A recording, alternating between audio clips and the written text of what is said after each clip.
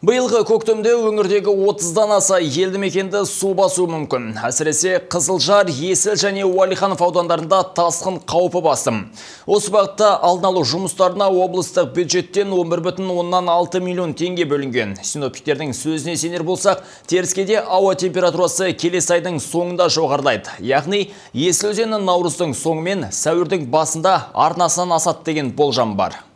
Количество осадков, выпавших с начала зимнего Ақпанның біріндегі мәліметке сүйенсек, қардың қалыңдығы облыс бойынша әртүрлі. Шамамен 6 және 42 сантиметр аралығын құрайды. Ал Есілдің аумағы бойынша қардың биіктігі 27 мен 41 сантиметр арасында. Петропавл қаласында өзендегі судың деңгейін наурыз айында анықтаймыз.